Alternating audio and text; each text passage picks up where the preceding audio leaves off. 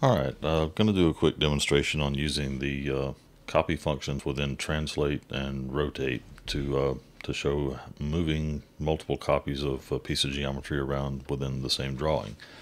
Uh, the copy and paste up here in edit, they're really for moving something from say BobCAD 2 here over to Coat Rack 1. Say if I you know drew a design here just using this as a scratch pad, but then decided I wanted to add it to this coat rack that I'm designing on the other uh, page.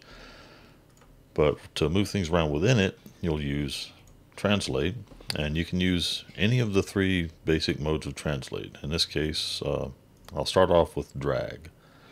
The copy button here is what you want to use. So I'll, with drag copy, it's basically going to drop one copy wherever you click. So I'll select my geometry, confirm it by clicking OK or hitting the space bar. And then as I move around, place it where I want, click, and it drops a copy there. Move it again, click, and it drops another copy.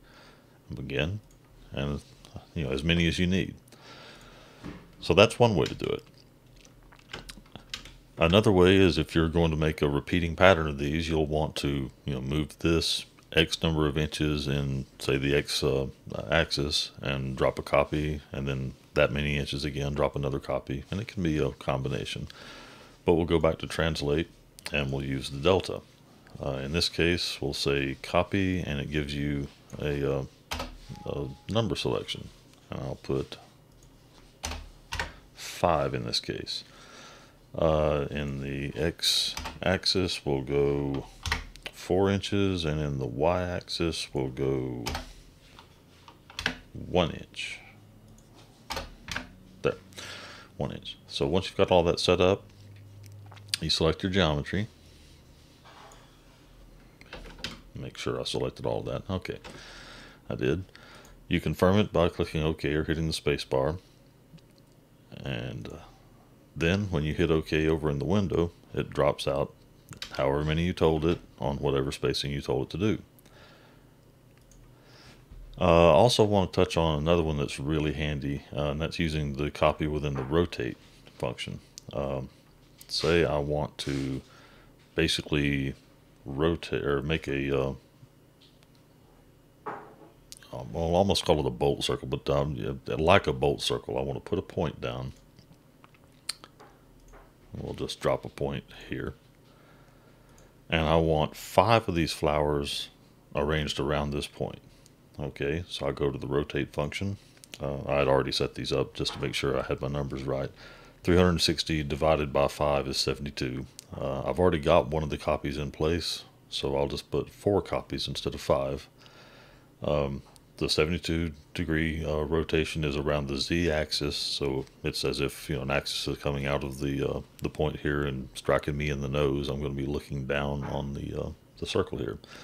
So once you've got that set up, oh, and you do need a pick origin when you're going to be selecting a point. Otherwise, you can click on enter and then just type in your coordinates. Uh, in this, it's a little bit easier to to uh, do if you're looking at a point.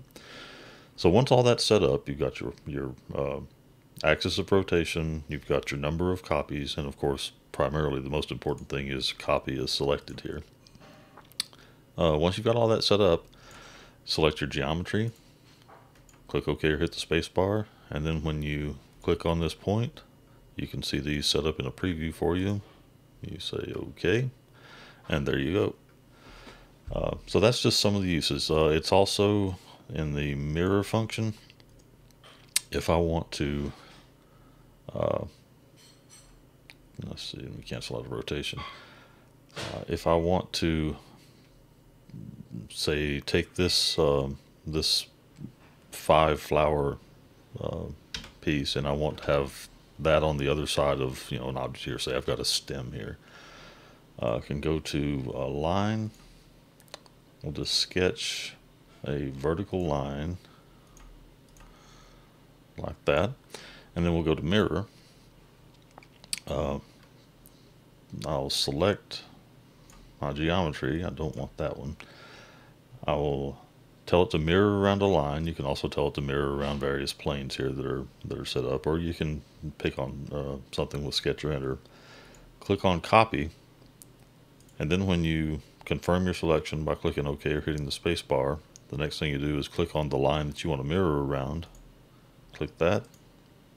OK, and there you go. It's put one directly on the other side of whatever geometry you used here. So that's some of the uses of, uh, of the copy function within translate, rotate, and mirror that'll uh, that'll give you a hand with, with moving things around on your screen and getting multiple copies. Hopefully that'll help you.